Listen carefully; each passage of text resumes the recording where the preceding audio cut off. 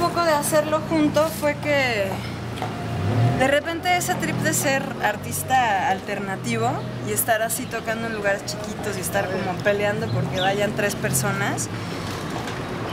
Y alguna vez como que me tocó ir a cantar a, bueno, a Azcapotzalco, a un lugar que era como de nada que ver, puta, seguro esta gente escucha Ricky Martin y ya.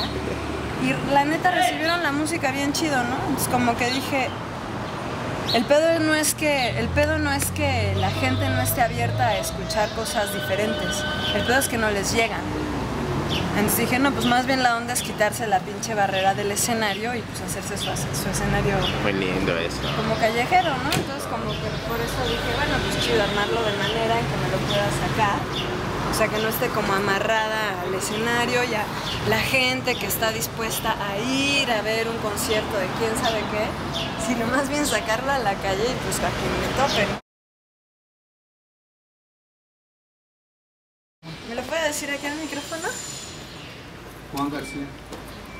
¿Y a, a qué se dedica? A juntar toda la basura de Juan García. Que encuentre yo. Ahí lo es, mira. Juntar toda la basura de Juan García. ¿Y me permitiría hacer una canción con eso que me acaba de decir? Haga la canción y luego ya me hace popular. ¿no? Eso. Encontrar basura.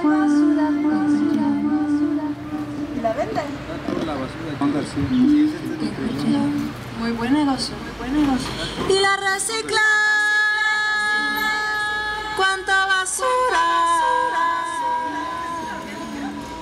Todo lo que me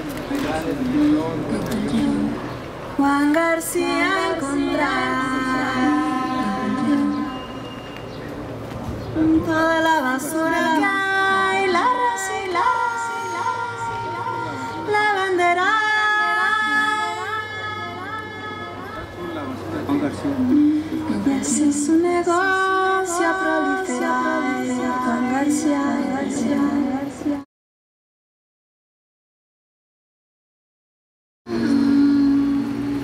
nos reímos, y nos reímos, y nos amargamos